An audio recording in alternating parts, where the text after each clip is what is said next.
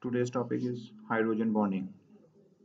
That is a type of intermolecular force. Let's start our topic. The main contents of today's topic that because it is an intermolecular forces, so we just have a look on intermolecular forces orally simply. What is hydrogen bonding? Its explanation, complete description, different example, diagram and the hydrogen and physical properties their interrelationship with each other. That how hydrogen bonding affects physical properties of substances. Let's start our topic today.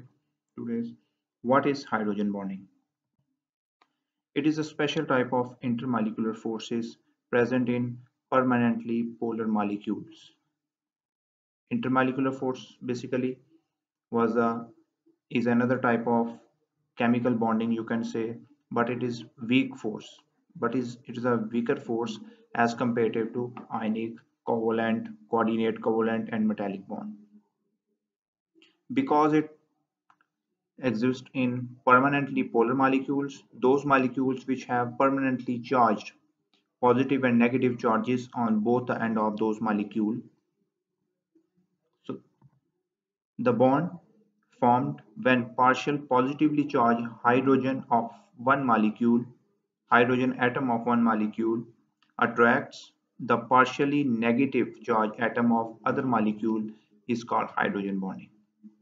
So we can simply say that if we have two molecules, one, one molecule having hydrogen bond, hydrogen atom, and the second molecule is having any type of atom that will be an electronegative atom so the bonding between the hydrogen atom of one molecule and the electronegative atom of another molecule.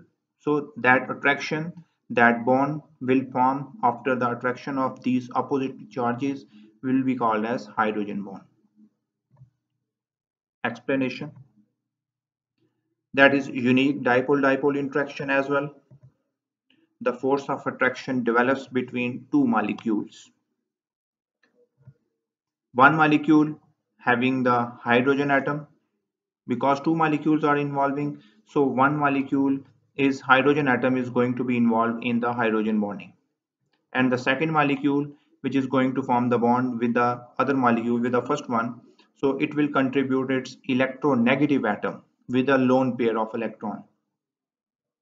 So the electronegative atom can be nitrogen n symbol n oxygen o and f that will be fluorine. Bond between hydrogen and other atom becomes polar enough to create partial charges. How the partial charges create on the on these both atoms? So that is the difference bit difference of electronegativity between the two atoms will create the partial charges on both the atoms. What is electronegativity?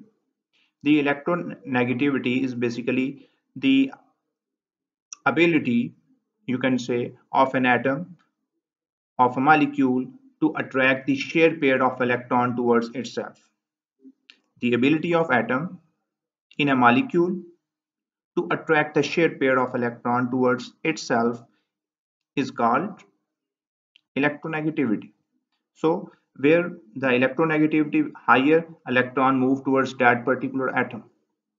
In this case, because hydrogen has lower electronegativity than the other atoms of the molecule, so hydrogen will attract less electrons, so it will have the partial positive charge and the electronegative atom, nitrogen, oxygen or fluorine will have the negative charge. Why? Because they have the high electronegativity value, so they will attract the electron more efficiently partial positive charge will be created on hydrogen of one molecule and the partial negative charge on the other atom of the other molecule.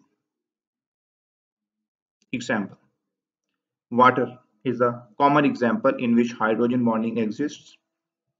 The force of attraction developed between two molecules of water. So because the chemical formula of water is H2O, so one molecule contributing hydrogen atom and the second molecule of water, water is contributing oxygen atom. So the bond between hydrogen and oxygen atom becomes polar enough to create partial charge. The difference of electronegativity between hydrogen atom and oxygen atom will create this polarity. So the hydrogen will have the partial positive charge and oxygen will have the partial negative charge. As you can see in the diagram, hydrogen having the sign delta, positive delta, is a sign that indicates the partial charge, a weaker charge, you can say. The, this charge may be the uh, because in this bonding the charge is permanently polar in permanently polar molecules, so it is it will be permanent. But in some cases it may be temporary. H having the delta sign, delta shows the partial charge, so having the partial positive charge, and next one in the oxygen that is having the partial negative charge. Red lines are indicating the intramolecular forces present between a water molecule. So water is the formula H2O. So the red lines are indicating the intramolecule between the forces that are present between the molecule. And the blue lines are indicating the intermolecular forces, basically the hydrogen bonding that is present between two molecules. So blue lines indicating the forces, the bond between two molecules. So dotted line is indicating the hydrogen bond in this diagram. In this you can easily see uh, two atoms, two molecules sorry of water. Uh, the blue balls are indicating hydrogen atom and the red one is indicating the oxygen atom. So the bond is created between the oxygen of one molecule and hydrogen of the other molecule.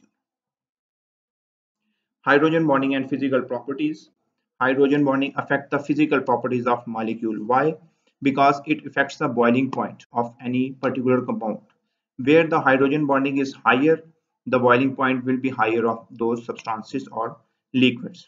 For example, boiling point of water 100 degrees centigrade is higher than the alcohol that is having the 78 degrees centigrade due to hydrogen bonding. Because hydrogen bonding is present in water is more efficient. So it requires larger force to break down the hydrogen bonding. That's why its boiling point is higher than the alcohol. Important question, why does ice float on water?